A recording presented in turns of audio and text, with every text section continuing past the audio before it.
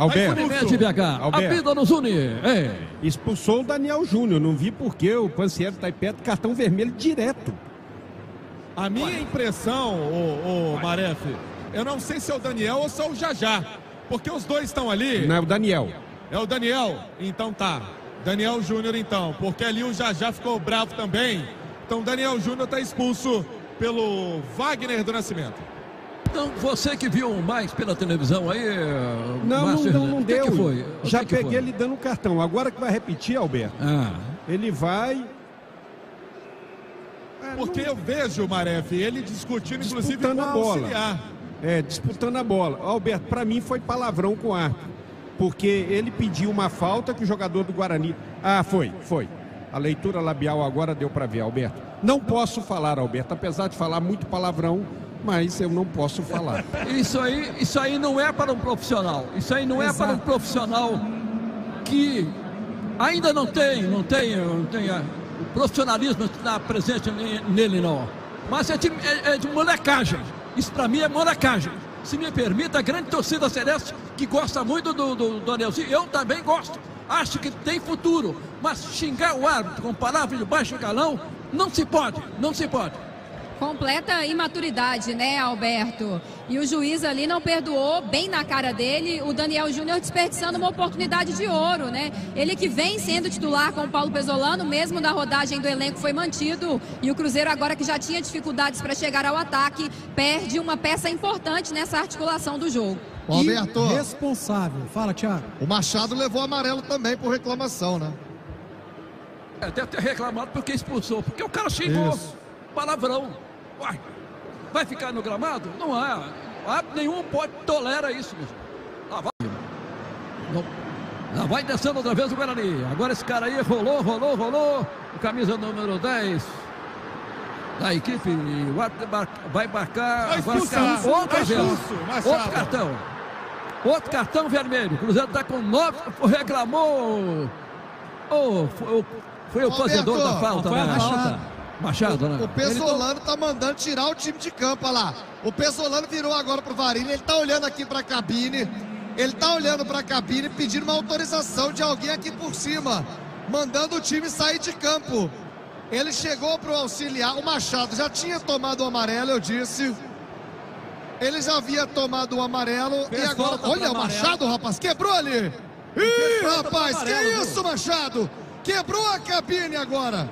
Quebrou a cabine. Olha aí, o pessoal da federação tá indo pra cima do Machado.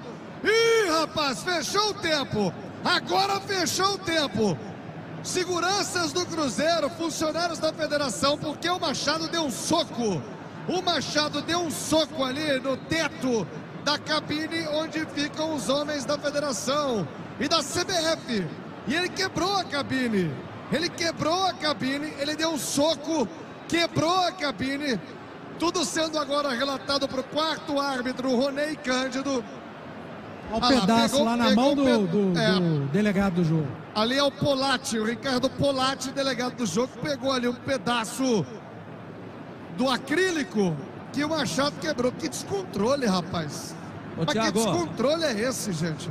O nosso Márcio Rezende pode até confirmar aí, porque tem um monitor, mas o que eu vi aqui, que ele fez falta para amarelo. Fez falta para amarelo, já havia tomado amarelo por reclamação, acabou sendo expulso. O Machado não foi expulso por essa falta que ele fez agora. É isso. Pela infantilidade do primeiro cartão amarelo. E agora vem dar uma de vítima. Me perdoe, não. Corretíssima arbitragem. Parece que o Cruzeiro está jogando a decisão da Copa no mundo, gente. O Cruzeiro está fazendo mais um jogo já classificado. Não dá para entender isso. Né? Não dá para entender. Desculpa. O árbitro tomou as medidas disciplinares corretas até agora. Mais nada. Não dá pra brigar com a imagem. É, o Daniel Júnior manda um palavrão na cara do árbitro. Ele é expulso corretamente. O Machado vai reclamar e não precisava ter reclamado e não deveria ter reclamado e toma um cartão amarelo por reclamação. Beleza. No lance seguinte ele faz uma falta para amarelo, gente. Então, o futebol tem regra. E aí ele quebra ali, o- o- solta uma parte do acrílico, tempo de machucar alguém. É claro que o torcedor vai xingar o árbitro, ninguém torce para a arbitragem, você torce ou para o Guarani ou para o Cruzeiro, mas nesse caso, Alberto, Ah, o terceiro- irresponsabilidade Pesolano é expulso dos atletas. Não, não, Pesolano é o é expulso. auxiliar do Pesolano. Não, É o o Pesolano está até muito Pesolano. tranquilo, viu, gente? Eu estou acompanhando aqui vocês mais daí também. O Pesolano até está muito tranquilo. Está muito tranquilo, agora ele ficou Alguém chateado. mostrou o cartão vermelho aí pra ele. É o auxiliar dele. Auxiliar, né? E agora O jogaram um copo com cerveja aqui no gramado atrás do goleiro Rafael Cabral. Pode prejudicar ainda mais o Cruzeiro. O expulso aqui foi o Gonzalo Alvarez, o auxiliar do Pesolano. Olha, e o pau tá quebrando, rapaz. Pedido de reforço agora na segurança. Dá uma confusão aqui por baixo na zona mista. Pedindo para que sejam retirados aqui os funcionários do staff. E o juizão vai recomeçar o jogo, Alberto. Que bobagem, né? Uma noite tranquila dessa, Alberto. É, o Guarani não tem nada com isso, né? Nada, nada.